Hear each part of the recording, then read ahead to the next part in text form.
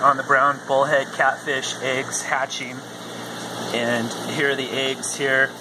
And today what we're seeing is an appearance of small red dots within the eggs. I don't know if you'll be able to pick this up because of the reflection and the moving water, but the eggs have a small red dot and also the tails are beginning to protrude through the wall of the egg.